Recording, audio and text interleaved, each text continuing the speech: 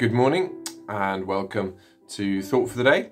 And we continue in Colossians chapter 2 this morning. Let me uh, read and then I'll pray.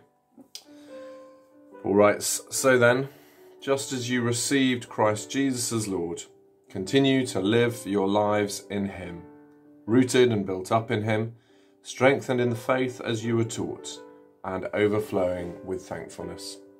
Let me pray.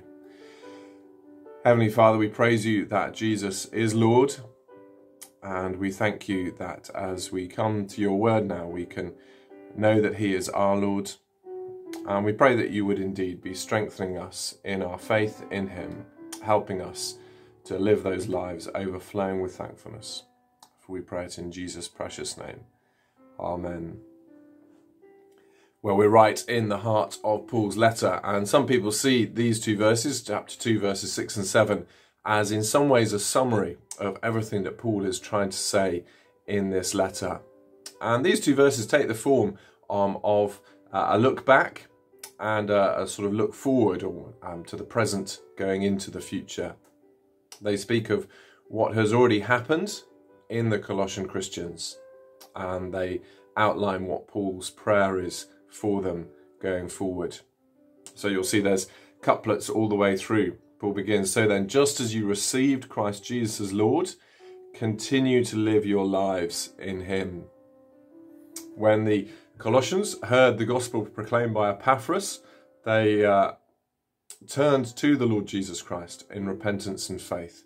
They were converted and they became followers of the Lord Jesus. They uh, took him on as their personal Lord and Saviour.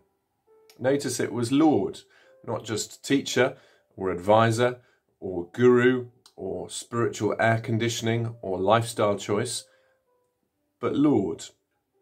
They gave him control of the whole of their life, that old illustration of moving over in the car of their life from the driving seat to the front passenger seat and allowing Jesus to take the wheel. That is what it is for him to be our Lord. And as they have done that, as they've received Christ Jesus into their lives as their Lord, so they are to continue to live their lives that way, not to try and wrest back control from Him, but to delight for Him to be driving their lives.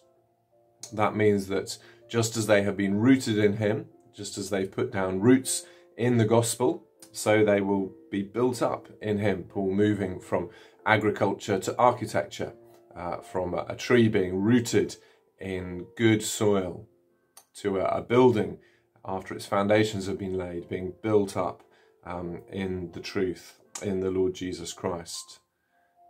And just as they were taught by Epaphras and, and maybe others since the truth, rather than some of these false teachers who are coming into town, so they are to be strengthened in the faith, so they are to keep growing in that faith. And that's the same for us. Um, in these strange times, uh, maybe it's a little bit different uh, how that's going to look. Um, maybe we have to work a little bit harder ourselves. I guess uh, joining in with Church Online is a very different experience. Um, I don't quite know because I'm in front of the camera. All the rest of you sit the other side of the camera, and I'm sure it's it's not quite as easy as a normal Sunday morning to engage. It takes a little bit more focus and determination um, to, to sit there and participate in services, to sing along with the truths, to uh, concentrate through the Bible readings and sermons. But that is what it is to seek to be built up in the Lord Jesus Christ, to be strengthened in our faith um, as we were taught, so we need to go on being taught. Uh, whether that's by me, whether that's by Johnny and Joe, um, uh, in various opportunities that we have as a church family, whether that's through Bible reading notes that you're using day by day, or books that you're reading, or other sermons and things online that you're listening to. We want to be filling our minds and our hearts with the truth about the Lord Jesus and very deliberately responding to that truth and underlining day by day Jesus' lordship in our lives. That we don't just want to know more, but we want to believe what we hear and we want to live what we believe. That is what it is for Him to be Lord of our lives. And that's my prayer for us during this time that we would be growing in our faith in the Lord Jesus Christ uh, as we have to address these strange times and, and work out our faith in a different context. That's good for us. It will build spiritual muscles and help us to be maturing in Christ. Remember Paul's great desire to see people presented fully mature um, in Christ, or in the old NIV, perfect in Christ. That's what we can be working at um, on our own. And then as we have opportunity to chat with others and encourage them to be growing in that way. And if that is what is going on in us, then I think the last thing will necessarily follow on. Then we will be overflowing with thankfulness. To live the life we were designed for, to live with Jesus as Lord, to be uh, rooted and built up in Him, to be strengthened in our faith, just as we were taught, will necessarily lead to thankfulness because we will be growing in love and wonder for what it means for Jesus to be my Lord. That He's rescued me from the dominion of darkness and brought me into the kingdom of, uh, well, His kingdom, the kingdom of the, the Son God loves.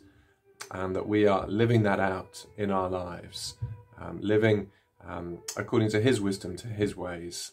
And that is the good life, that is the right life, that is the joyful life, that is the peaceful life. That is uh, what Jesus came to give us as we've remembered at Easter. So may today be a, a day of us continuing to live with Jesus Christ as Lord. Let me pray.